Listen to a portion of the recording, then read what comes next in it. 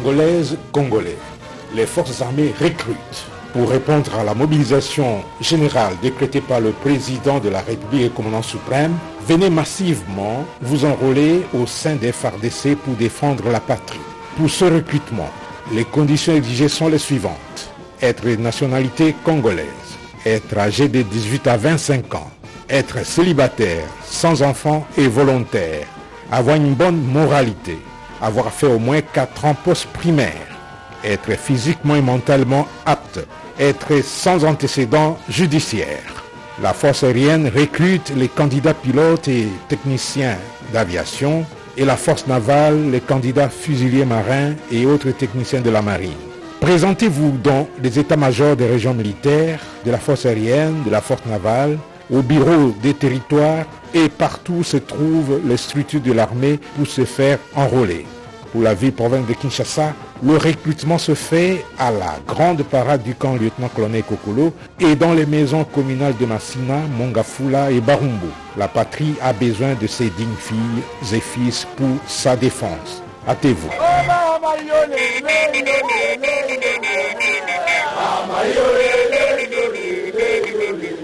osoki nayoki mongongo ya cilombo motema nanga ngai natali likolo natali na se nakobima rwande napesi bangongo te bango balebibinga na te.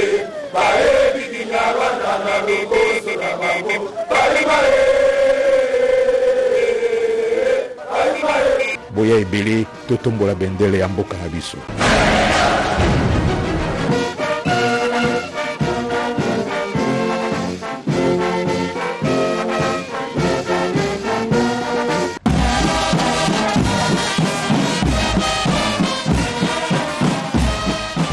Jean-Pierre Bemba Gombo, vice-premier ministre, ministre de la Défense nationale et des anciens combattants, a été reçu par le haut commandement militaire des FARDC. Cette rencontre a été mise à profit pour faire l'état des lieux des forces armées. À cet effet, quatre exposés sur la situation actuelle des FARDC ont été présentés par les quatre sous-chefs d'état-major en charge respectivement des opérations, du renseignement, de l'administration et de la logistique. Dans son mot d'introduction et des bienvenus, le lieutenant général Thio Christian, chef d'état-major général, a rendu un vibrant hommage au commandant suprême pour son souci permanent de booster la montée en puissance des FARDC. Les choix portés à Jean-Pierre Bemba Gombo à cette période où notre pays est agressé par le Rwanda est une bonne chose, a précisé le chef d'état-major général, après avoir suivi avec une attention soutenue toute la situation de l'armée. Le vice-premier ministre Jean-Pierre Bemba a donné les orientations précises pour changer les choses et valoriser de manière concrète la montée en puissance de notre armée. Immédiatement après, Jean-Pierre Bemba a inauguré les chapiteaux servant des messes des officiers de l'état-major général.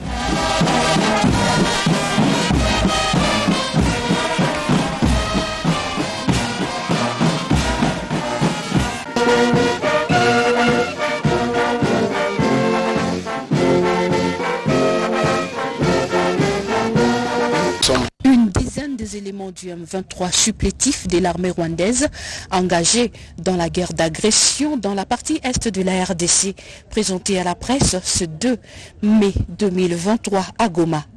Parmi eux, ceux qui ont attaqué dernièrement la force régionale de l'EAC en territoire de Massissi, renseigne le porte-parole des forces armées de la République démocratique du Congo au Nord Kivu.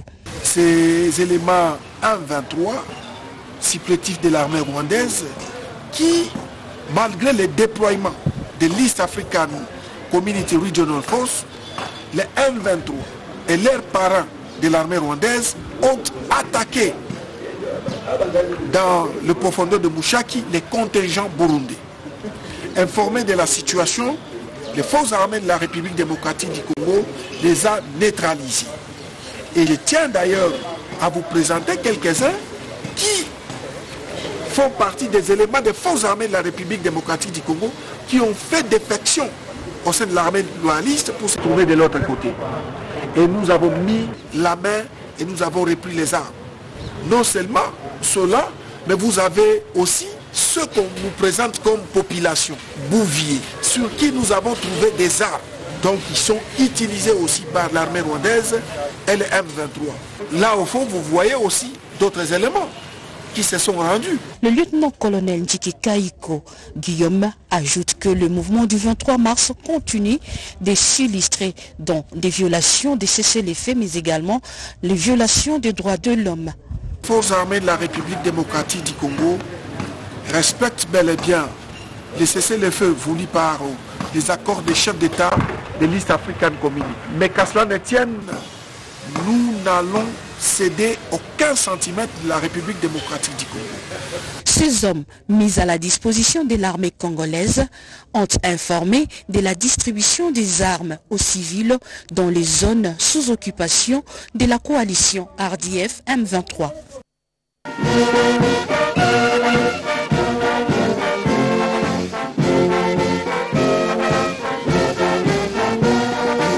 Cours de la parade animée ce mercredi, le commandant 34e région militaire, le général-major Mpezo Brinon, félicite les militaires sous sa juridiction pour leur attitude de bravoure face aux protégés de Paul Kagame, les terroristes du M23 qui tentaient prendre la ville de Goma.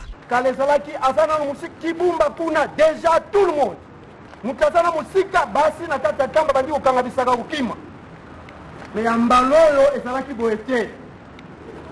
nde yango wana bakonzi ya nyonso ya likolo bapesi bino longonya mpo na yango. Esengeli tozala be bongo awa na goma oyo eza su ndenge ya kala te. Soki kobetana tokobetana oyo na kati ya goma boye te? Muta kobangisa mutu azali te. Tolobaki yango bien tokowa mpo na ekolo. Oyeba yango bien bakonzi baza kotala. Eloko oyo bosali na mbala oyo epesi bango esengo. Nde bazokonte mingi na attitude wana soda akimaka te. Pour le commandant 34e région militaire, tous les militaires doivent rester en alerte maximale et en a profité pour lancer un message particulier aux terroristes du M23 et leurs parents de l'armée rwandaise.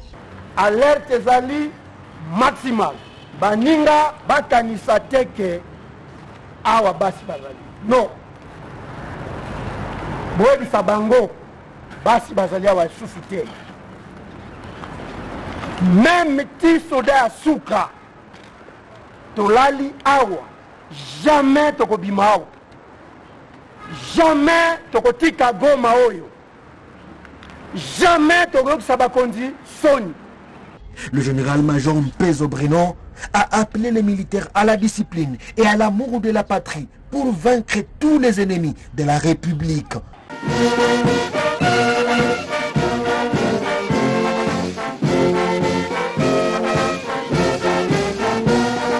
C'est dans le quartier Virunga, en commune de Karisimbi, l'un des quartiers de la ville de Goma, victime de l'insécurité grandissante, que le colonel Mike Mikombe, commandant de la brigade interarmes, a tenu à rencontrer la représentation des jeunes de cette partie de la ville. Une rencontre saluée par le président de la jeunesse, commune de Karisimbi, M. Claude Rougo. En tant que conseil communal, on, est allé auprès du commandement de la JUR pour une proposition d'organiser les tribunes d'expression populaire euh, dans les quartiers où il y a les positions euh, de l'unité GR.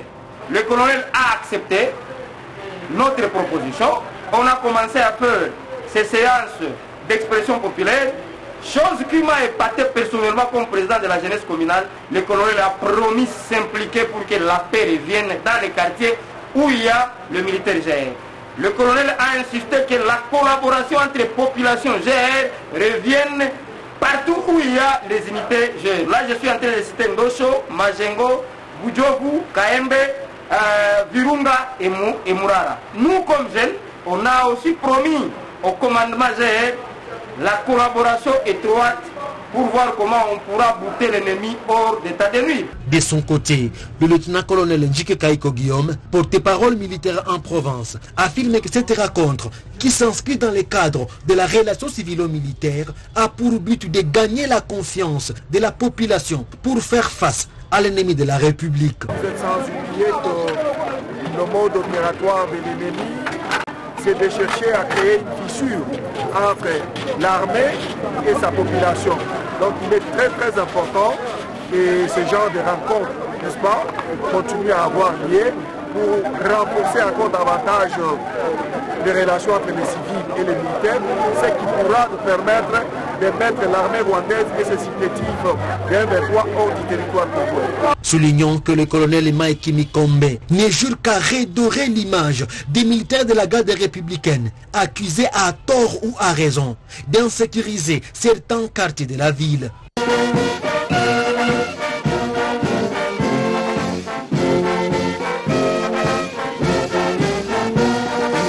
La paix et la liberté, deux moitiés inséparables mises sur la balance en cette journée mondiale de la liberté de la presse en province d'Elituri à travers le thème provincial La presse pour la paix. Une approche qui apporterait mieux à l'Ituri, une province secouée par une spirale de violence depuis des décennies, explique le directeur du collectif des radios communautaires et des proximités de l'Ituri, Korakopi en sigle.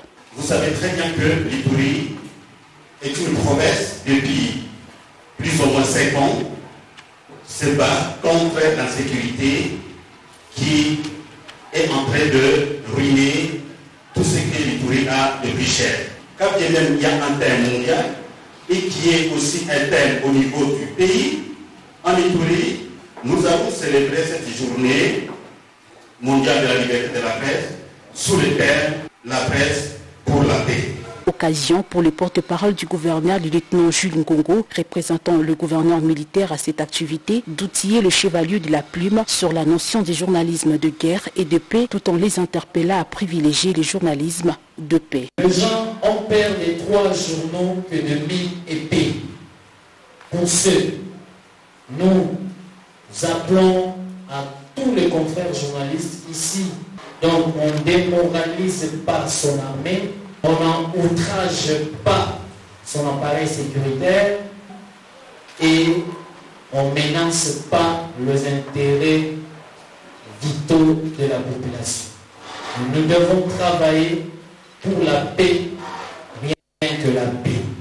C'est par ici que nous déclarons clos le séance de travail de cet après-midi.